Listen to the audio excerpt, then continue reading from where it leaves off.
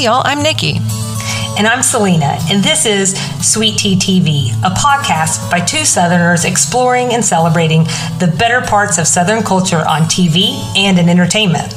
In our first season, we'll dive into the iconic show Designing Women, a series far ahead of its time, following four strong, brazen women right here in our backyard, Atlanta. Join us as we break down each episode and discuss what they got right, what they got wrong, and how this show holds 30 plus years later. Come on, let's get into it.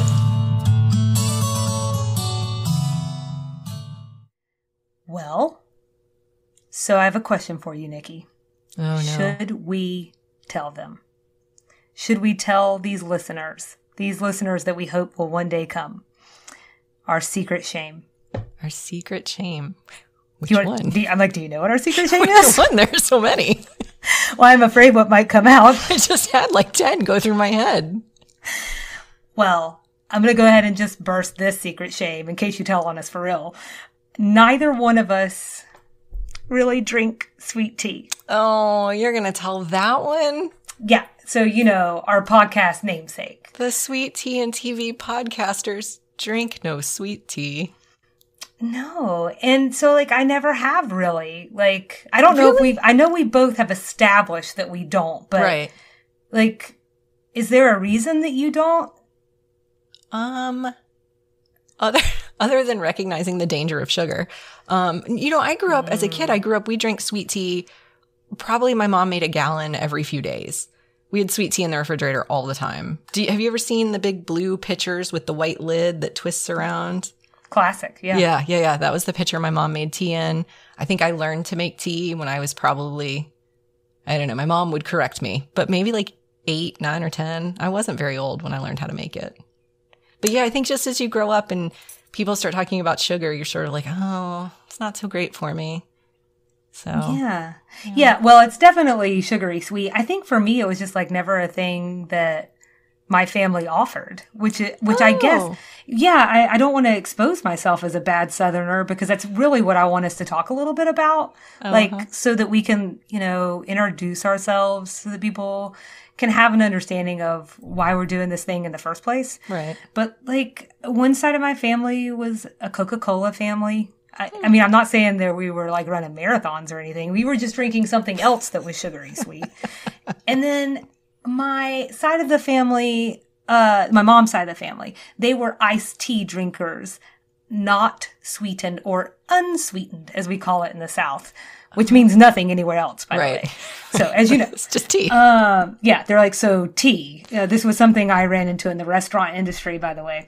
Uh, so, you know, I mean, I do think it's delicious and I like mine with lots of lemon. So if you Yeah. do ever drink tea, d- do you like a lot of lemon? So it's, I think it's an acquired taste, something I've acquired over time. So I will occasionally drink an unsweet tea, like out at a restaurant.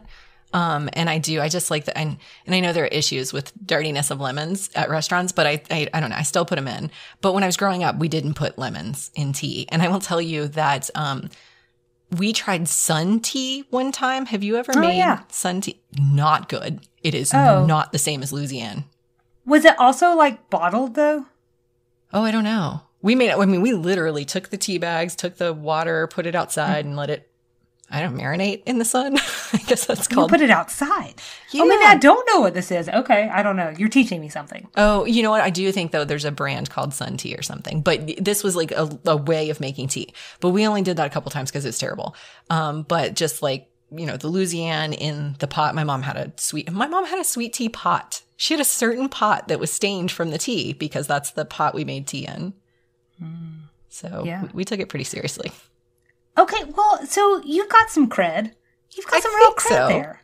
So, well, let me. That's a good. That's a good segue because I thought what you know, like before we even get to designing women, and you know, because this is like the first time that we're sort of setting up who we are, what we're doing. You know, I, I thought maybe we could talk a little bit about our relationship to the South. Like we said in our nice little beautiful canned intro that we're Southern, Right. but like, can you prove it? Oh, So, I, will you start us off, if you're willing, and share with us maybe some highlights of, let's call it your Southern resume? Oh, I like this. I like this. Yeah.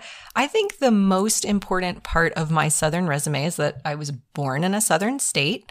So I was born in South Carolina, like my parents before me and my grandparents before them. So we are all South Carolinians. But I've also lived in North Carolina and now Georgia, which is where you and I both call home. I lived in Pennsylvania for a very brief time as a kid, which is where you will quickly learn that not everyone knows what sweet tea is. Um, and mm-hmm. so maybe I, I, don't have much of a Southern accent, I think, which people will notice right away. Maybe that's where it went. I lived there when I was like seven or eight. So maybe it just disappeared when I was there. Um, but fun fact You left we, it there. I left it there. That's right. Packed everything up and left my accent. Um, but fun fact, we moved to Georgia during the 96 Olympics. So when they were hosting okay. the Olympics, we were bringing our bags in and moving in. So I consider myself a pretty well established Georgia peach. It's a little hard to leave behind, you know, my South Carolina identity. Um, but, you know, I went to a state university here in Georgia. Um, I have a deep appreciation for country music, which um, incidentally was not always true. Um, my my mother does not appreciate Southern music, country music at all, um, but I really got into it in college. Uh, I love the weather. I love how kind and neighborly people tend to be in the South. So there's a lot I love here. Um, and I love exactly what we were just talking about. When you go into a restaurant and ask for sweet tea, they don't think you're crazy. Um, and, you know, I think one fun, another fun fact about me is that I love the South so much that I named my daughter Carolina after my home state. So she is forever called Carolina, but her name is actually Carolina. Um, and that's, that was, you know, in homage to my home state. Well, does it matter that now I call every Carolina Carolina? I've ruined it forever for you. It's like Carolina is such a beautiful name, and I appreciate that everybody tries to call her that. but honestly, it's just Carolina. And more honestly, it was inspired by a country song. I heard a lyric in a country song when I was pregnant, and um, that's just, I decided I love that name for her. So that's how much I love and appreciate the South. But that said, you know, I do think that the good has to be balanced with the bad. And so, um, there, there's some not so great parts of being from the South that are um, tough to come to terms with and to reconcile with a deep love for it.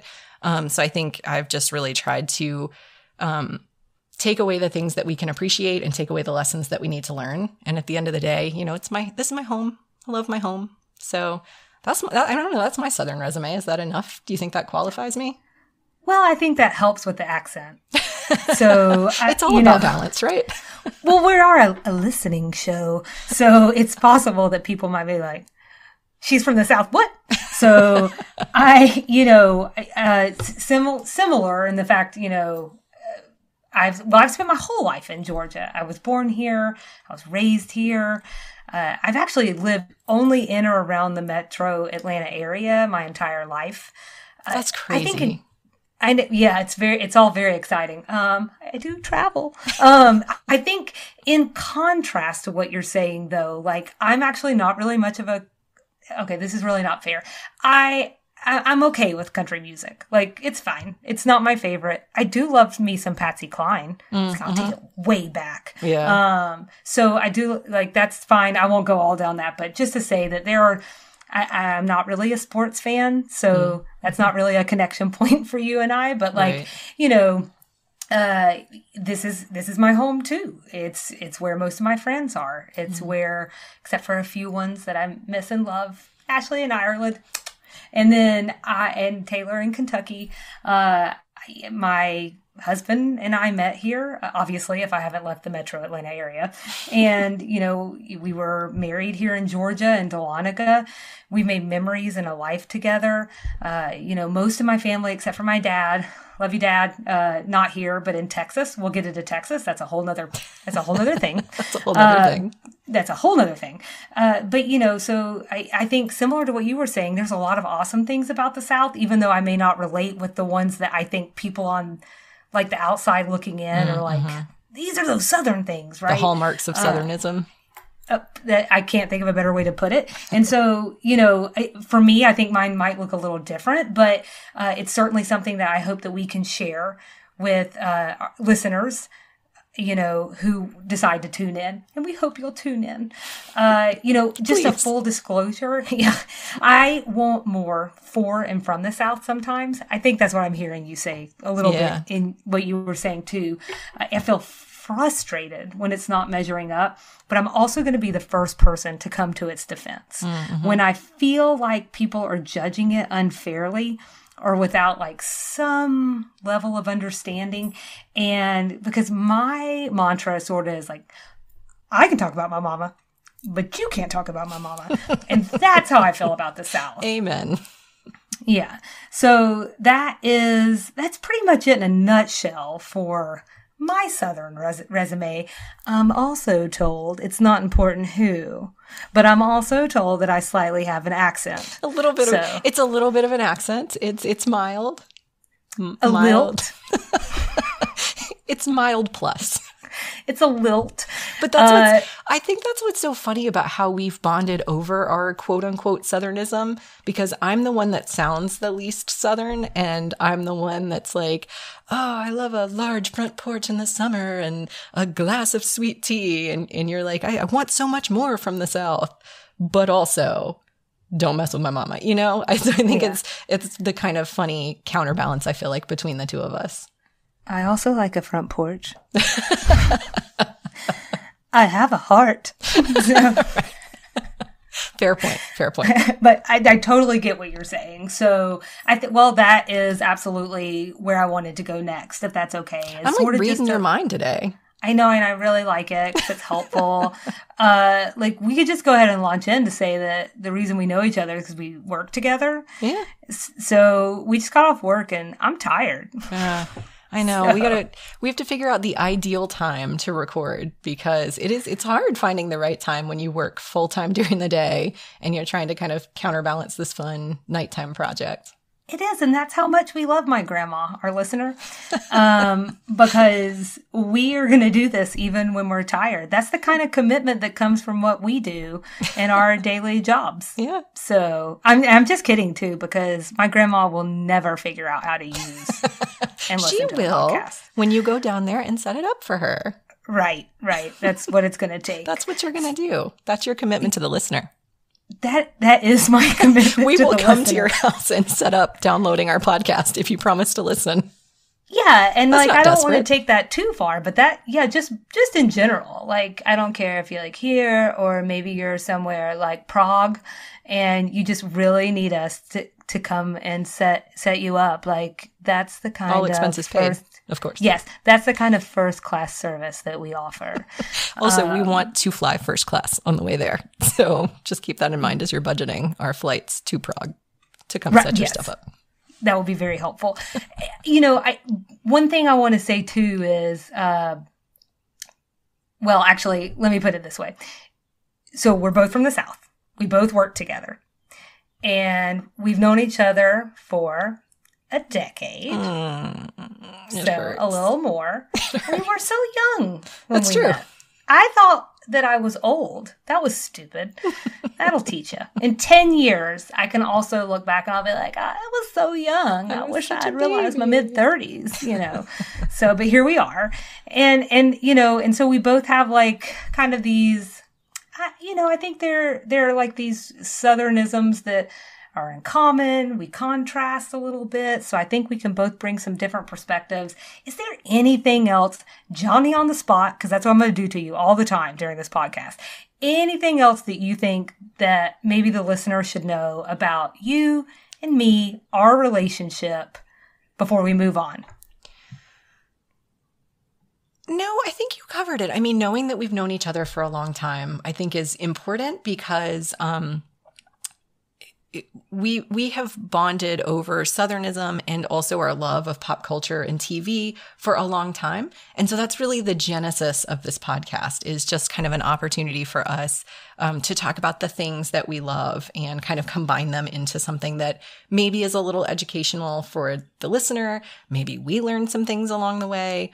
Um, so I think, I think your everything you've shared so far is probably the most relevant, but I just, um, I think for people to know that this is this project is it, this has been a long time coming for us, and this is something we're really excited about. So um, hopefully, others will get in on our enthusiasm. Yeah, I like that. That's that's good. I I also wanted to talk. Just we can we can do this uh, as quickly, or we can go on for as long as you want. You don't have anything to do, right? uh, I thought that it might be helpful too, just to talk a little bit, like as we start this journey because I, th- you know, we're going to go down this path of, uh, you know, digesting one episode after the next of designing women. And so I think for both of us, we know it's been a long time since we've really watched these episodes, particularly if you're talking about like consecutively. So, um, if ever. So I, yeah, so I think well, I think I think I have before. So, but you know, it's been a long time. So with that in mind, I thought it would be nice for us to go ahead and establish as of today how we feel about the show and our relationship to it. You know, what it meant to us as the designing women we knew before. Yeah. Yeah, I think for me, it's been a really, really, really long time since I've watched any of it. And I certainly did not watch every episode. Um, and you know, I've had this conversation with my my mom recently because she loves designing women. This was a favorite show of hers um, years ago. And so she has seen every episode. She watches them on repeat now, the way I have like my own shows that I watch on repeat. So she can remember every single plot point. She can remember every single, um, you know, interaction between characters when they shifted cast, all of those sorts of things. My mom, my mom really knows. And I don't remember the show in that way at all. Um, I can remember her watching it and I remember her making references to it, but like plot points and detailed character stories, I don't know those things. So for me, this is almost an entirely fresh rewatch. And I feel like you're more familiar with it than I am. Yeah, so like look at that nice compare and contrast again. I'd be hard pressed to remember like all of the individual plot lines, but I definitely remember some, and some of the memories of it are very vivid. I think it's because as we get into it, some of the show's just kind of quirky. Mm. Uh, so you know, uh, which I love some good quirk, but like you know, what I can definitely recall, if not individual plot lines, is loving it. I, I love yeah. the characters, uh, all of them, but especially Julia. And, you know, I, I think characters like hers, or to skip around a little bit, even like Murphy Brown or mm. Elaine Benes from Seinfeld, you know, I think watching them on television as the only five year old watching these sitcoms for whatever reason, like it just sort of shaped me to some extent. You know, mm-hmm. I grew up watching these women buck the system. Right. I watched them stand their ground. I watched them run companies, run with the boys. And, you know, I think that really stuck with me because I didn't really know it before. Mm-hmm. You know, I didn't know that was something that used to not be the case. Right. Uh, and on reflection, like, you know, as a 30 something now, to have seen Southern women not portrayed as soft, spoke, excuse me, soft spoken or simple minded, you know, are subservient, but strong and successful, like that is something that just really left an impression on me. Oh, wow. You went deep. Well, went you deep. went deep with your appreciation. Well, that's what Julia does. Oh, yeah. That's what Julia does. So I think like the last thing that I was hoping we could do, it if this is okay, because you know we got to make sure we're in agreement. For folks who don't know, we're we're like not together right now because I there's know. a pandemic. I feel like that's an important thing people should know. Yeah, good good call. That is an important thing for people to know that we are not actually recording in the same room, and we have not normal times. We haven't been quote unquote in the same room since last year. So it's been a long time since we've even been in the same room. Um, we've seen each other like on walks and things like that where we've conceptualized some of this. But yeah, we haven't been in the same room. I think that is a, you were just saying you've never known a before kind of on TV. Maybe we'll never know a before on podcasting. And this is the only way we'll ever have known to do it. But yeah, we're doing it virtual. We'll be learning a lot then. and sure, we are learning a lot. Yeah. And I think we've talked about this to some extent, Nikki, but if I can just throw it to you to talk a little bit maybe about a little bit about why we're doing this. Yeah. And just so the audience kind of has a crisp understanding of what it is that we're after because we are sweet tea and TV. We're not designing women. Right. Women, you know. So right. uh and, and and you know, just some of the things that we're hoping to achieve like designing women and then broader. Yeah. I think for you and me and um you can correct me if I'm I'm saying anything wrong. I think for us, fun is really kind of the way we're approaching this show. That's if you had to have ground rules, that would be our number one ground rule.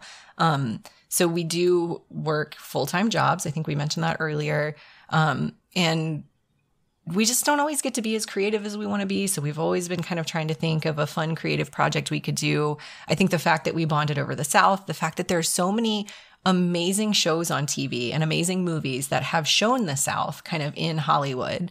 Um, we've always had fun kind of picking those apart and thinking about um, how true is it to our experience? And it felt like that was a little bit of a gap, something maybe we could fill. You know, our expertise is TV and our own Southernism. That seems fair enough, right? We're experts in that. So it felt like maybe we could share that. And we want this to be fun for listeners. We want to share the best parts of the South that we love and the parts that um, we're proud of, maybe introduce people who aren't as familiar with those things. Um, and I think just at the end of the day, this last year, we alluded to this earlier, has been really challenging for a lot of people. And we really want this show to be sort of a fun little escape um, where we get to just chat about designing women over time, I think we would ideally like to explore other shows and other um, movies and things like that. And again, provide that unique perspective. Um, so we want to kind of dig into the shows a little bit offer that um, and then look at it through kind of the 2021 lens and see how things hold up designing women is an older show so it'll be kind of cool to see how um, cultural things that were addressed during that time and then offer our perspective. Obviously, we're also women. So I feel like we offer kind of that perspective as well, um, which will be interesting. I think one thing that we have talked about quite a bit, because um, this is something that's really important to both of us, is we can't just conveniently skip over the fact that the South has a complicated and challenging history. We can't um, whitewash the history and just pretend things didn't happen or overlook certain things. Um, so we we want our show to be fun, but sometimes that means we're going to have to shine a light on things that maybe are less fun. We don't want to just skip over those for the sake of skipping over them. Um, I, again, this is a fresh watch for me. So I don't know how much Designing Women addresses these issues. Um, but I, I know, Salina, you and I have talked about, based on your recollection, there are some tough issues they dig into. Um, and I would imagine that any Southern show worth its weight in salt would, would cover some of those things. Um, so I think we, we want to address those things and we may have to get serious sometimes and really say, you know, if something's not right, we want to call it out and say, here, this isn't right. And that's why it wasn't right. And maybe we can all learn a little bit as we go.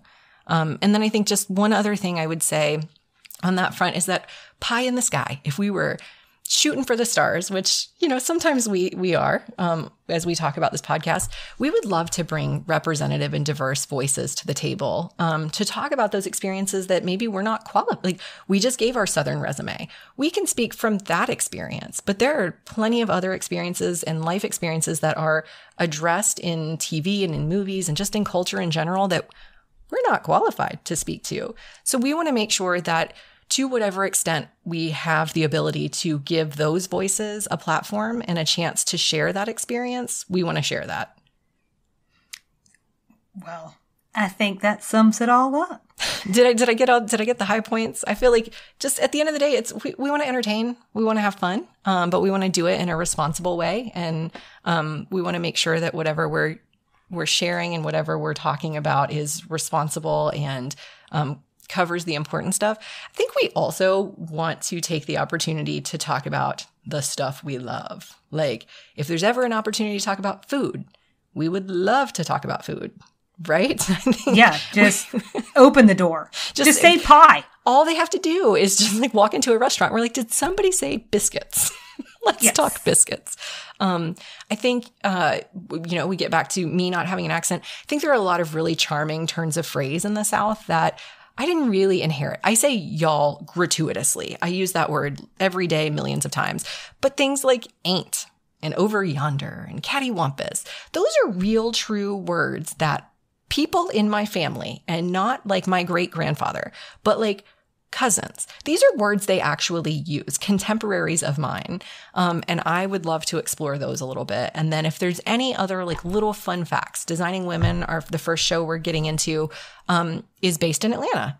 Which conveniently, we're from the metro Atlanta area. So, any other fun facts that we could share along the way about our home, I think would be fun. I love that. And I'm so excited to do it and to really like, um, to take you guys down some serious rabbit holes. It's okay. Nikki's going to constrain me. I don't know. I might be right there with you. I'm a rabbit holer too sometimes. I'm the Google well, rabbit holer. Hopefully somebody will pull us back here or there. we need so, a, we need a responsible adult around here. Right, right. But I, I yeah, so I'm super looking forward to uh, you know, those opportunities to not just explore designing women, but things outside the bounds of designing women. I mean, we really thinking of that as a jumping off point. Yeah. Uh, I know that this whole segment has felt like probably a little indulgent, maybe to a listener. But I just know when I, as a podcast listener myself, uh, you are too, Nikki. I, you know, I if I'm going to tune into something, I need to know who I'm listening yeah. to and, uh, you know, what we're looking to achieve mm-hmm. together mm-hmm. because you really are kind of going on a journey. Um, it's not just like, it's not, I, I, I get where I feel invested when mm-hmm. I'm listening to a podcast, like really, really invested. Um, and, and so I hope that, I hope that our listeners feel very invested too. Um, and I hope and they like us. Yeah, well, that would be helpful. I mean, don't sound desperate. Sorry. Please listen and like me. Please like me. Please. No. But um but anyways, but thank you so much for this uh indulgence. We are going to separate this out into a separate episode then where we actually dig into the pilot of designing women. Uh that's where we'll break it down, uh kind of act by act and you know give you our Southern perspectives. Uh, and we're just going to take it from there. So join us. Come listen. yeah. Be my friend. Yes. Like me. Yes. On Facebook. All right. Well, we'll see you around the bend at episode one. All right. Let's do episode one. Let's do it.